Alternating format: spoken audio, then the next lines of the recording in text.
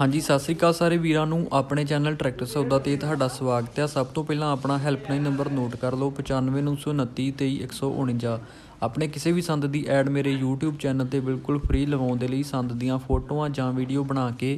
ਦਿੱਤੇ ਗਏ helpline number ਤੇ ਸੈਂਡ ਕਰ ਦਿਓ ਤੁਹਾਡੀ ਐਡ ਆਪਣੇ ਚੈਨਲ ਤੋਂ ਬਿਲਕੁਲ ਫ੍ਰੀ ਕੀਤੀ ਜਾਊਗੀ ਹਾਂਜੀ ਦੋਸਤੋ ਸਕਰੀਨ ਤੇ ਵੇਖ ਰਹੇ ਹੋ ਸੋਨਾਲੀਕਾ DI 750 ਇਹ ਟਰੈਕਟਰ ਵਕਾਊ ਹੈ ਜੀ 2012 ਮਾਡਲ ਆ ਸ਼ੋਰੂਮ ਕੰਡੀਸ਼ਨ ਆ ਇੰਜਨ ਗੇ ਲਿਫਟ ਪੰਪ ਦਾ ਜਮਾ ਓਕੇ ਕੋਈ ਕਮੀ ਪੇਸ਼ੀ ਨਹੀਂ ਖਰੀਦਣ ਸਮੇਂ ਚੰਗੀ ਤਰ੍ਹਾਂ ਚਲਾ ਕੇ ਵਾ ਕੇ ਚੈੱਕ ਕਰ ਸਕਦੇ ਹੋ ਸਾਰਾ origignal ਵਾਲਾ ਟਾਇਰਾਂ ਦੀ ਕੰਡੀਸ਼ਨ ਦੀ ਗੱਲ ਕਰੀਏ ਤਾਂ 50 ਪੈਸੇ ਟਾਇਰ ਨੇ ਫਾਈਬਰਹੁੱਡ ਛਤਰੀ ਲੱਗੀ ਆ ਤੇ ਟਰੈਕਟਰ ਜੀ Punjab number area Tarn Taran demand 350000 ਮੌਕੇ ਤੇ ਲੈਸ ਹੋ ਜਾਊਗਾ ਨੰਬਰ ਪ੍ਰਵੀਰ ਦਾ ਨੋਟ ਕਰ ਲਓ 62808 62045 ਇਸ ਨੰਬਰ ਤੇ ਵੀਰ ਨਾਲ ਗੱਲ ਕਰਕੇ ਟਰੈਕਟਰ ਬਾਰੇ ਜ਼ਿਆਦਾ ਜਾਣਕਾਰੀ ਲੈ ਸਕਦੇ ਹੋ ਜਾ ਕੇ ਇਸ ਨੂੰ ਵੇਖ ਸਕਦੇ ਹੋ ਖਰੀਦ ਸਕਦੇ ਹੋ ਅੱਜ ਦੀ ਵੀਡੀਓ ਵਧੀਆ ਲੱਗੀ ਤਾਂ ਵੀਡੀਓ ਨੂੰ ਲਾਈਕ ਕਰੋ ਸ਼ੇਅਰ ਕਰੋ ਤੇ ਚੈਨਲ ਨੂੰ ਸਬਸਕ੍ਰਾਈਬ ਜ਼ਰੂਰ ਕਰੋ